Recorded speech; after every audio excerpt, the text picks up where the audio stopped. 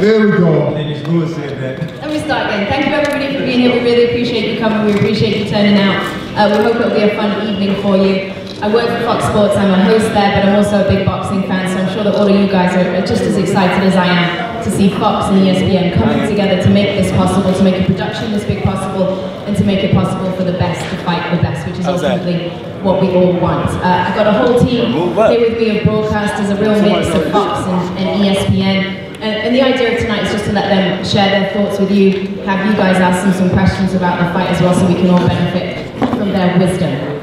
Um, a couple of people standing next to me that we didn't manage to get seats for, and I'm very sorry about that. Uh, since this is such a historic partnership between Fox and ESPN and PBC and, and Top Rank, we just want to uh, start the evening with a few remarks from executives from, from both of those companies. Um, so if we can welcome in the EVP and Head of Programming and Scheduling at Fox Sports, Bill Wanger, and the VP of Programming at ESPN, Matt Kenny. Uh, you guys both have mics, yeah? Uh, Bill, just start by talking to us a little bit about this partnership, about how it came to be, how it came together, and how both networks have worked together to promote the fight. Yeah, well, first of all, welcome to the biggest heavyweight fight in the last decade. This is going to be awesome. Um, the fight really came together uh, when the fighters uh, signed a contract, and uh, Fury was with Top Rank, and Wilder, of course, was with PBC, and that married ESPN and Fox together. And uh, our four respective uh, business units came together and created a plan. And Matt Kenny and I were the ones uh, charged to execute it. And we're really sharing resources and talent and promotion and programming. And it's been an unprecedented partnership and it's been fantastic. Matt, tell us a little bit, if you would, about Fight Week programming. I know that you guys have had these guys working non-stop, uh, literally, and, and then what we're going to expect on Saturday night when it comes to Fight Night as well. Yeah, absolutely. Thanks, Dave. Hey, everybody. I mean, we uh, we obviously couldn't be more excited about uh, you know where we are today, the event that we're going to have on Saturday night. Um, I think the best way to describe what fans can expect is, you know, if you look on stage here, uh, the impressive collection of talent and personalities, incredibly gifted uh, professionals and, and folks who cover the biggest events. And as companies, both ESPN and Fox Sports have a long decorated history of covering the very biggest and best sports out there. And for these companies to come together, uh, and this talent to come together, I think at the end of the day, the, the fans are, are going to win. Um, in terms of what everyone can expect on Saturday, a few weeks ago, we had a talent summit in Burbank. And this was the first time where the talent got together, there was a chance for them to engage and discuss and, and, and start to build some chemistry. I started that call as a, as you know, half of the equation in terms of uh, an executive interested in how this is going to go. I left that call incredibly inspired, excited, and as a fan, fired up for what this group is going to be able to bring forth in terms of storytelling and, and, and covering the fight. And fans are going to be in for a real treat on Saturday night. Absolutely, uh, and so far so good. Would we do it again? Certainly hope so. Great, Bill, Matt, thank you very much. Appreciate you being here.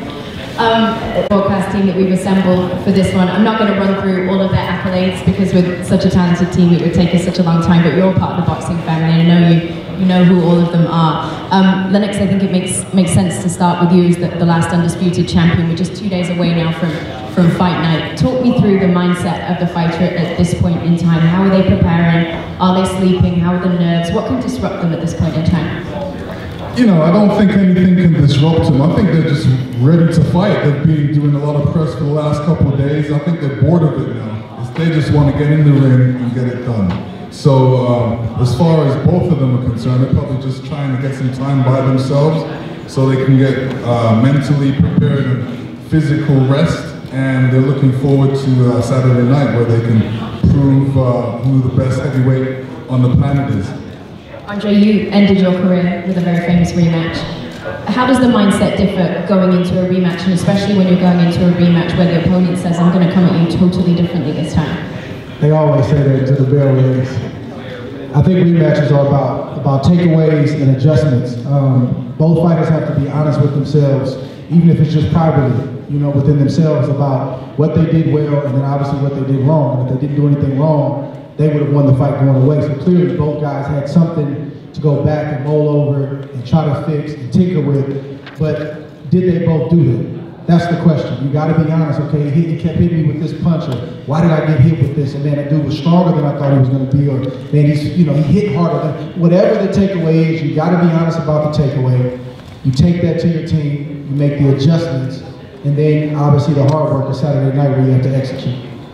Tim, you had not one but, but two rematches. Did you find it psychologically any more stressful It's going so- into it? I hadn't No. finished. Oh, Go ahead. No, no, no. I'm sorry, kid. I'm fired up. Go ahead, go ahead. sorry, kid. Go ahead. I'm sorry. That's the third to second time out of the day. Feel like, feel like Family Feud. You don't get the rest.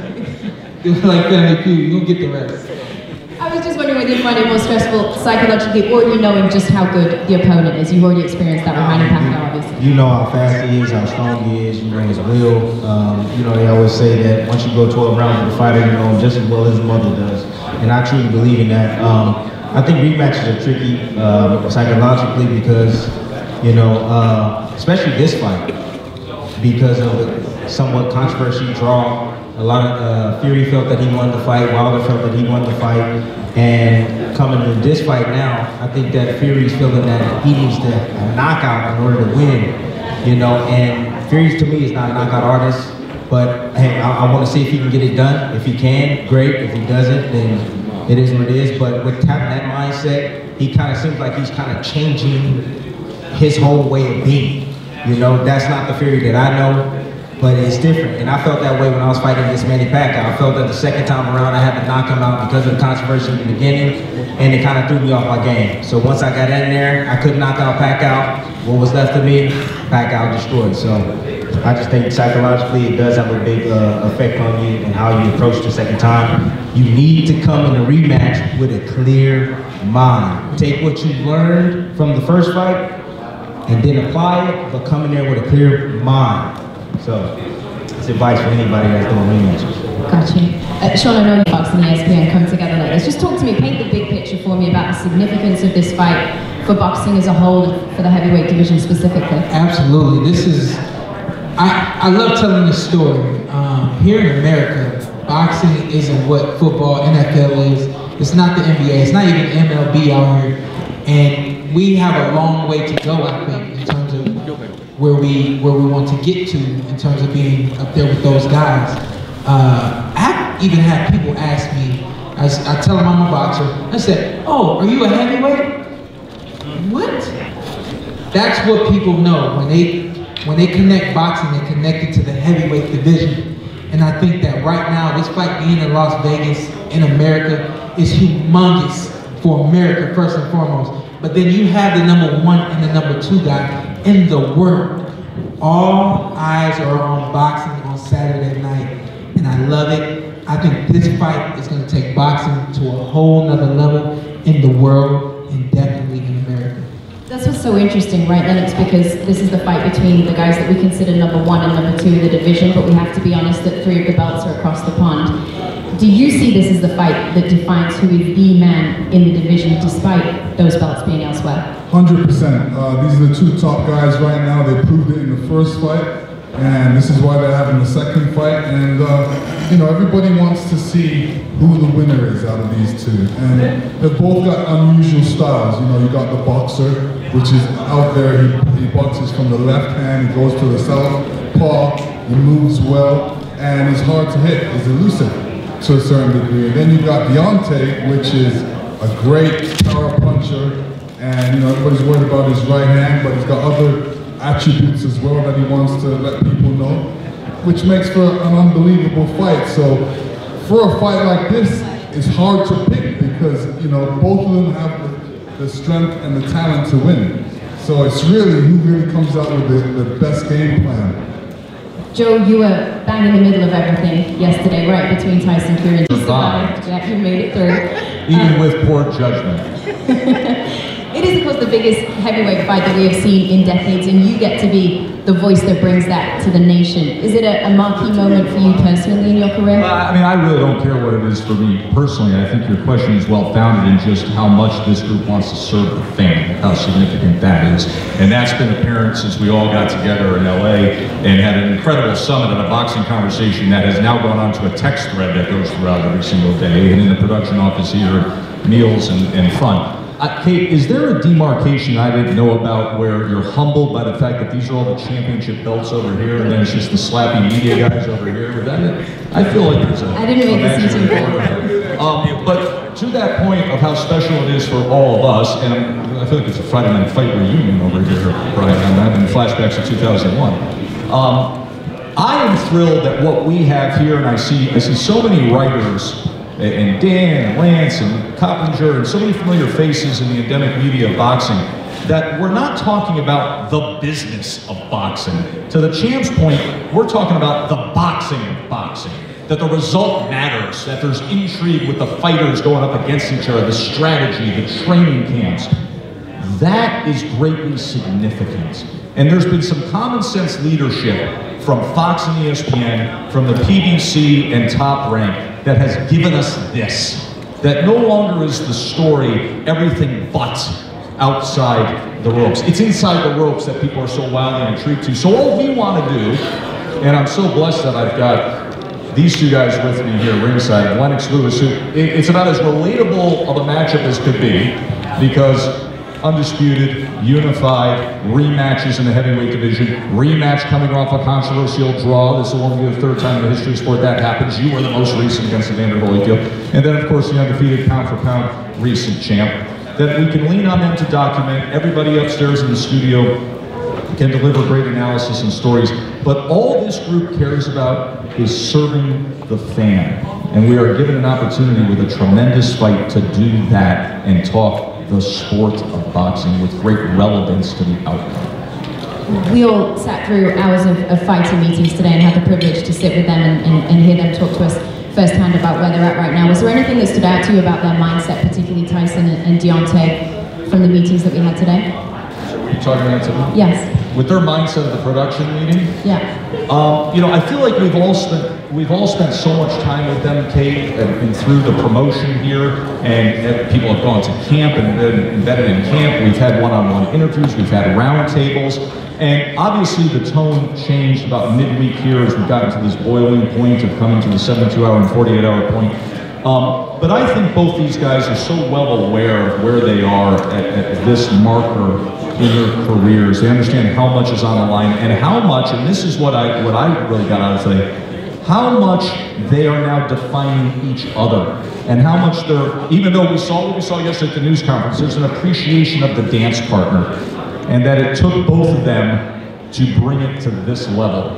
For networks to come together, for promoters to come together, and for the American sports public, and I would even go further in saying that uh, you're starting to sense the roar of the fire, that it's not even a sports viewing public now, it's a mainstream American deal here where the attention is. And people feeling that there's an obligation that you have to watch this on Saturday night to find out the great reveal of who wins this showdown. I think there's a Maybe work on the desk on fight night with Max Kellerman, with Tim, with Sean. What has you most intrigued about this fight? Well, I, I think having a heavyweight champion of the world is very important to the sport. Um, I think it really brings focus. And through the years, through, I was 14 years at ESPN, 12 years Friday Night Fights with Joe, with Max, um, I think with everybody here, uh, eventually at various networks. And it's just difficult to get out to the public who the champ is. If you make fans work at trying to figure this out, you, you have a chance of losing them.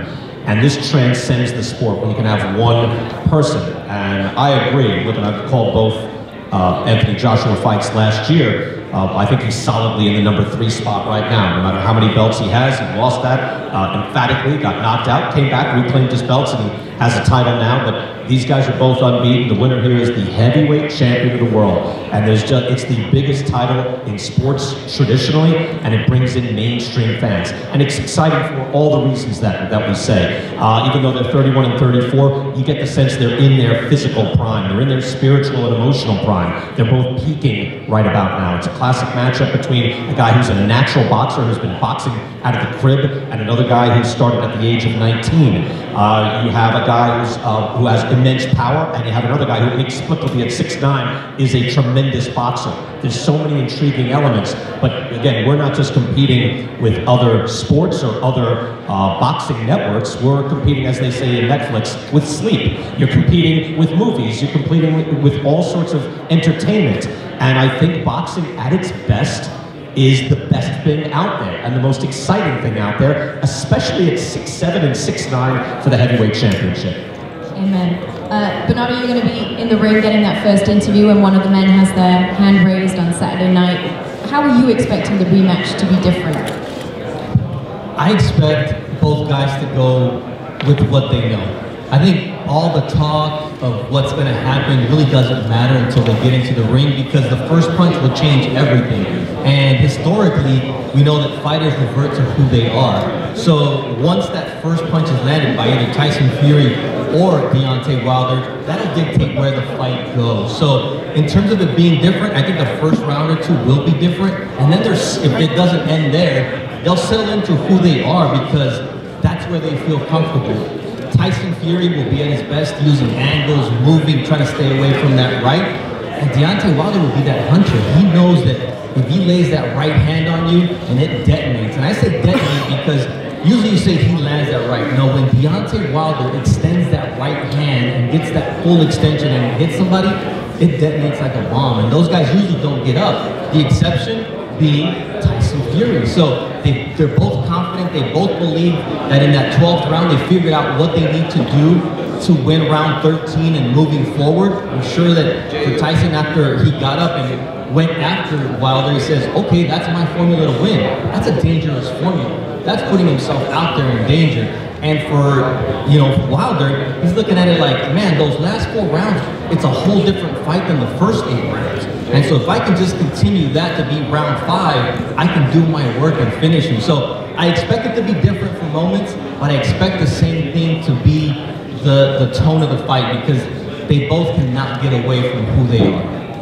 Andre, did Tyson convince you in the fighting meetings today that he's got the right game plan for this? When I, when I first heard the game plan or the new game plan or the new mindset from Tyson Fury, I didn't believe it. Then I heard a little bit more, and I heard it again, and I started to believe it a little bit more. And then we heard it today, and, and I think I fully believe it. Um, if you watch the first fight, there was an invisible line in the center of that ring. And for probably about 50% of the fight, Tyson Fury told that line uh, and didn't allow Deontay uh, Wilder to push him back. Now I know that, you know, most people believe, think that Fury ran around the ring and boxed and was cheap the whole night, but that's not necessarily true. Tyson Fury had several moments where he attacked Deontay Wilder with success. He had his best success when he attacked Deontay Wilder. So the game plan is not entirely crazy. The issue that I have is the weight gain and the bulk. He's talking about being somewhere around 14, 14 and a half pounds north of where he was the, the first fight. I don't agree with it. A 250 pound man is a big enough man to push back a guy who's 225, 223, somewhere around there. So I don't agree with the, with the weight gain. He explained it to us today. I understand it in theory, but I wouldn't necessarily recommend it. But the game plan is not entirely crazy. You have a guy with an 83 inch reach, right? Is boxing him Tyson Fury, like he did the first fight, was that really a safe thing to do? He got caught twice. He almost got knocked out in the 12th round. So there's really no safe place in a ring with a guy like Deontay Wilder. So I'm not opposed to him saying, I'm going to push the issue and be bold enough and brash enough to push a guy back who typically doesn't have to go back. I made a living out of doing it, right? So it's dangerous and it's no man's land from being on the outside and then getting on the inside. That's the hard part. How are you going to get inside and push him back consistently and often enough where you get hit, you're able to hit him back, you're able to get in that nip and tuck kind of fight. It's not easy, but I don't necessarily disagree with it. I just disagree with the weight game. If you were to fight Deontay Wilder, what would your game plan be? Uh, well, I'm, I'm, a, I'm a pugilist specialist, so uh, to box Deontay would be uh, a great fight for me because he's one-dimensional.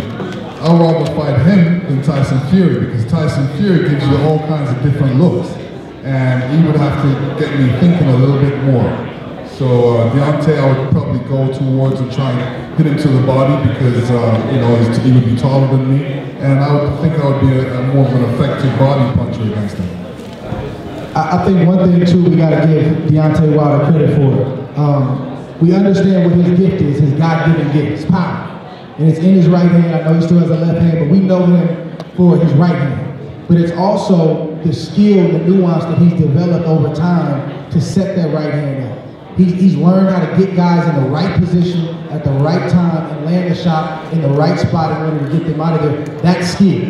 This is a guy who doesn't have uh, 30 amateur fights, 30, 35 amateur fights, went on to win a bronze medal, was the only medalist in that Olympics, and he's obviously had a small sample size as an amateur, so he's learning on the job. That's why he had a lot of guys, he fought a lot of what we call dead men in the sport of boxing early on, trying to understand who he was as a professional fighter. He's done that. His style is established. He is improving little by little, but we got to give him credit for the skill that he does display. Can I add on? You can indeed. Most of the time we say it's the punch that you don't see, the one that, that hurts you. You can see a Deontay Wilder's punch coming. And it hits you on the chin and it's lights out. You can see it coming. That's what makes him special. That's what makes him special as well. You know, we, uh, we can all see that every time he throws that right hand, you know, anybody he hits around the head, he can cuss. So, you know, the power is, is elongated, and you're right, when it lands, it's like a bomb, the brown bomber. So, uh, you know, always have to be careful with that right hand, but, you know, everybody's focused on his right hand, and I'm sure, you know, he's improved a lot. I've, I've seen his improvement, and uh, he's, uh, he's answered the question in my eyes, can he take a punch? Does he have stamina? All those questions that I had, I asked myself, him. Uh, he, he's definitely answered those questions.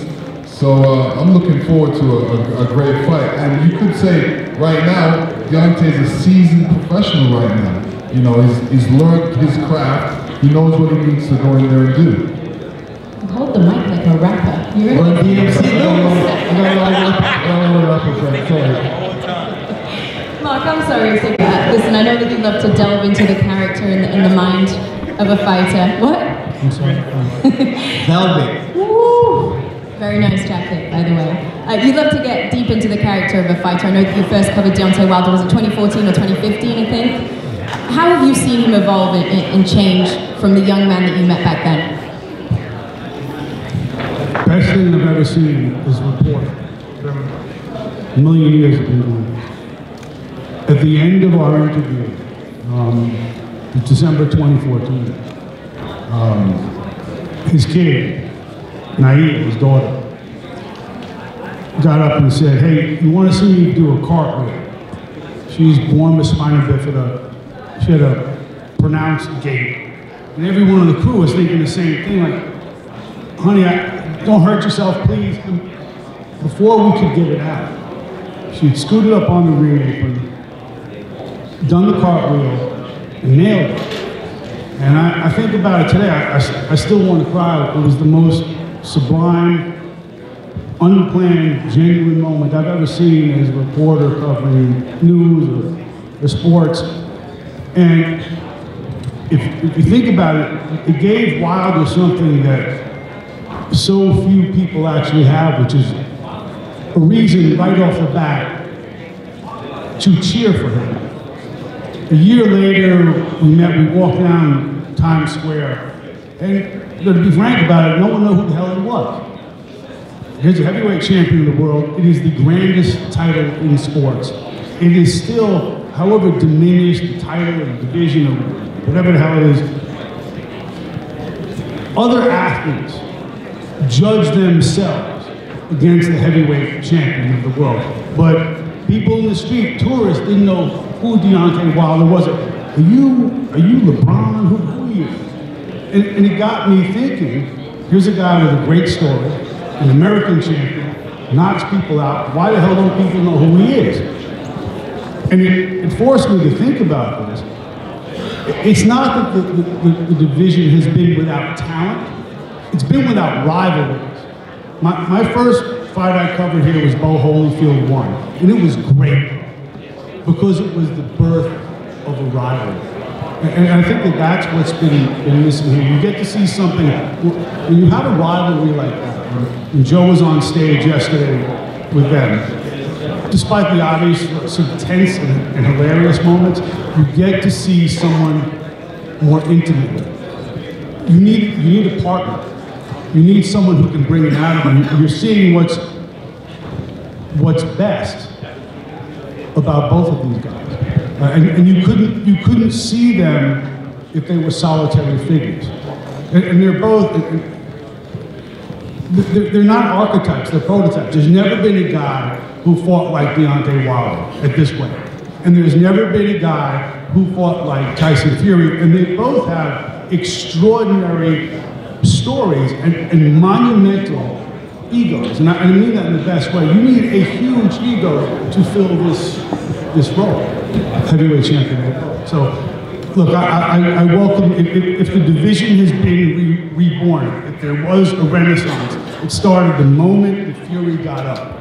And it's because we have a rivalry there. Yeah, I wanted to piggyback off of that. You know, even even more than just having a rival, because I think there's a lot of rivals in the sport in every weight class, right? But a lot of the big fights aren't getting made. What I respect about both of these guys the most is the spirit in which they possess.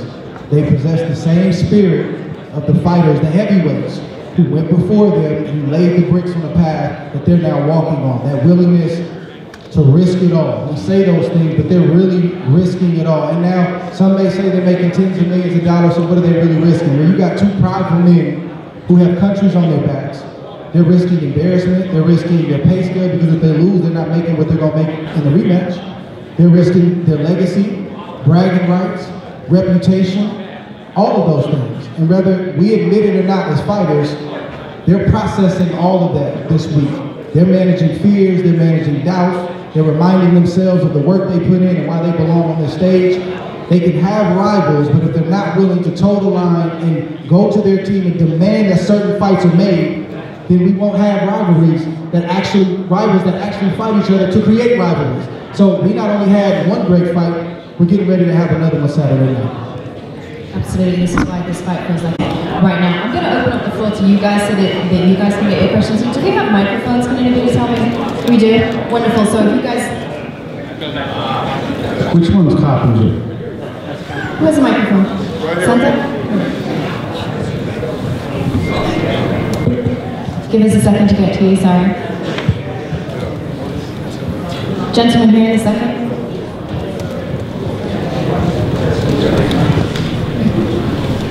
Hey guys, thank you for taking time to answer our questions and address these topics. Andre, I specifically want to ask the question you just you just raised.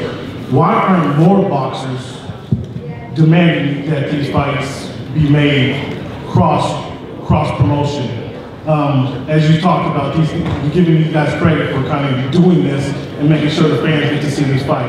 Why are more boxers doing that? Uh, any of you guys can. I don't have an absolute answer, but to be able to face the other baddest man in your division, to be willing to go right to that cage, it could be scary business.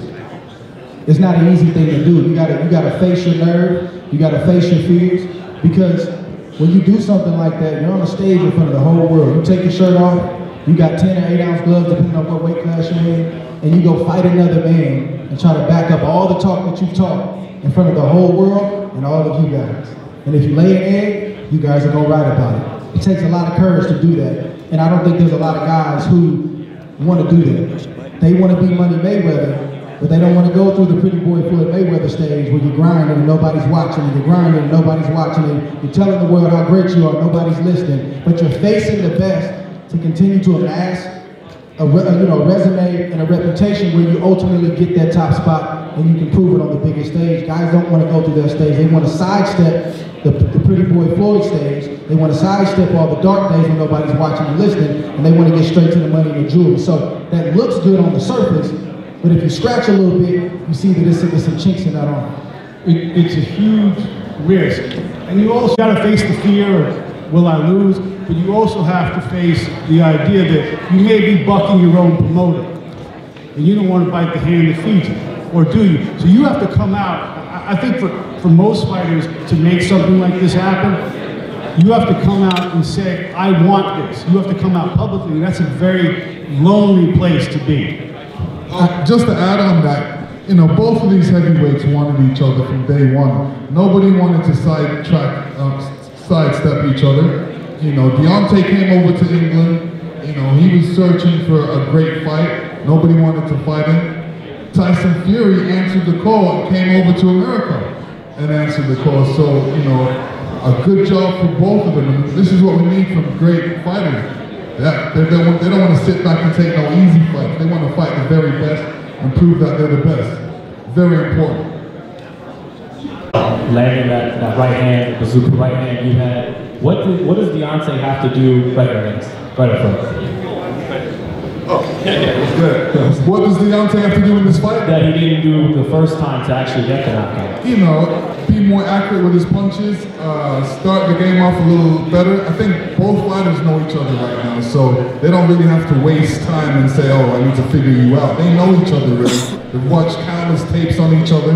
Uh, what they needed to do is actually, you know, go back and really train and say, what do I want to do in this fight? What can I do more of? Uh, what what mistakes did I make in the first fight? What uh, what don't I have to do in the second fight? So and it really comes down to you know what what plans they have for this fight. If they have an A A game and a B game, and what works for them. And I think corners matter as well. You know, the information that's given to each fighter when they go out there for each round is very important. So I'll be I'll be watching and, and listening to what they'll be saying. For Deontay, jab. Jab. So Mark Breland says, Jay Deas says, jab, be close to that right eye, jab. It's what- also, it creates your distance too. It's what sports science says too, because the sports science that Andre Ward meticulously researched. Dr. Andre Ward. When when Deontay lands that left hand first, he lands at a double-digit increase in accuracy behind that. So it's one of the punches that he rarely uses. It's worked for him so far because I think he has that eraser on the right hand, but after 12 rounds with Tyson Fury, who was hard to find in that first fight, I mean, he'd be well served to, to land that left, especially, you know, taking into account that the right eye's been cut, 47 stitches, put that to the test. So, you know, Mark Breland, the whole team is aware that the jab is going to be a key for this fight. Go ahead. Fun guys. Once again, I want to thank you for your time. Marcus Hayes, Fight Hub TV. Gentlemen, it was mentioned earlier by Andre Ward about managing your fears as a fighter. Uh, I think all of us regular folk in the room would like to know exactly what are the processes that you go through in order to manage the fears because there has to be some sort of real fear uh, in getting in the ring and getting down for a championship battle. Who was that? This is, this is for all the champions, if anybody wants to All right, answer. let me, let me, when you say managing your fear, you know, for me, my fear was losing and not being able to do what I what I do best. You know, going in there and performing the best. I guess from how I managed my fear was just making sure that I was properly prepared, making sure I was in great shape, making sure I was working on the things I needed to work on to perfect them. You know, example, my jab. Working on my job and making sure that it was the best out there, that it was going to do the job that I needed it to do for me. Uh, for me, I I believe that fear is something that is. It starts with your mentality. It starts with how you think, and it moves into how you feel. If you allow it to, it'll, it'll determine the way you walk. It'll determine the way you talk. It'll determine everything you do. For me, I've always put fear in the back of my mind. I've always denied fear. I've always said, nah, that ain't true. No, I can do it. I've always talked to myself in a very positive way so that anything that is negative or anything that could be to someone else a fear, anything like that, I've always played almost a mind game with myself to keep myself safe, to keep my emotions intact, to keep my physical intact and to make sure that I always went out and fought the way that I could fight and do the things that I know in my in my heart that I can do. I believe in Deontay Wilder and in Tyson Fury. There's very little fear at this point in both of their hearts and in both of their minds. Both of them believe that they're gonna walk out of that ring to, uh, Saturday night victorious. Both of them believe that they're gonna knock one another out. There's not very much fear getting in the ring on Saturday night, and we are all in for a treat. Look at Timmy's game for us.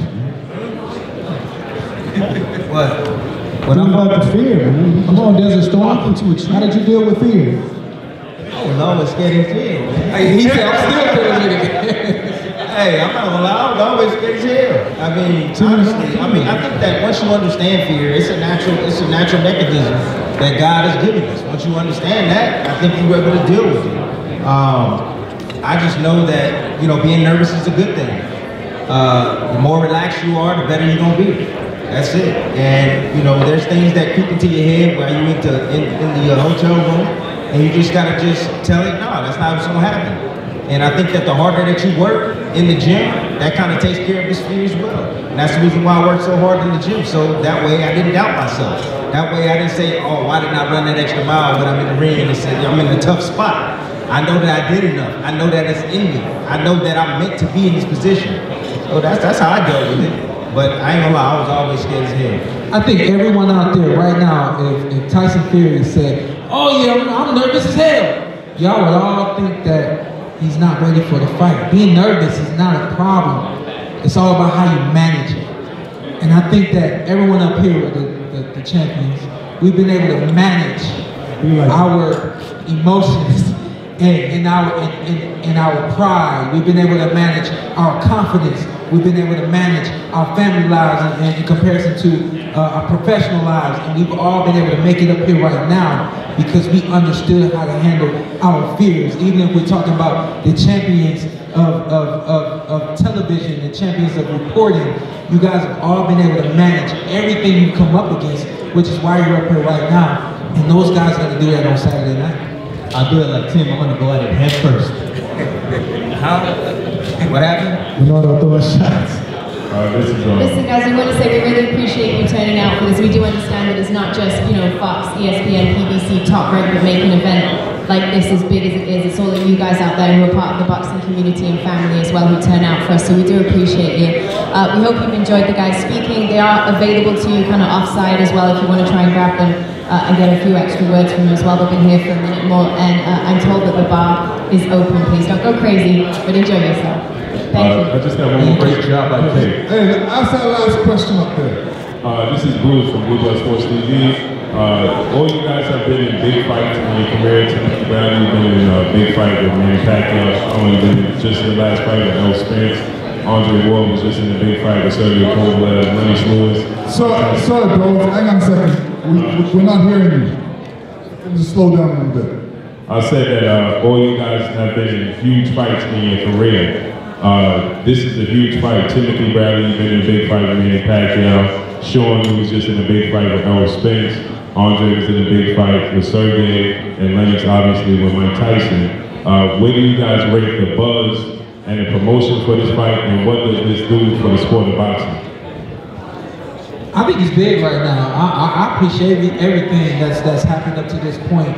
Um, I I'm, I go everywhere by myself. I just do my own thing. Nobody bothers me. But uh, whenever I walk into someone at, at a grocery store, I've been at Walgreens. I mean, just little little places.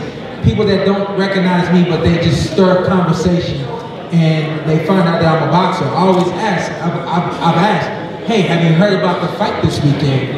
Everyone's heard about the fight this weekend, and I think that we we collectively, PBC, Top Rank, ESPN, Fox, everyone involved with the promotion has done a fantastic job. I think the buzz is perfect for this fight. I think what they did yesterday, I, I personally, I was like, oh, don't don't go that far. Was perfect for what they were able to do to make that last push for pay-per-view and for this fight to be as big as it can be.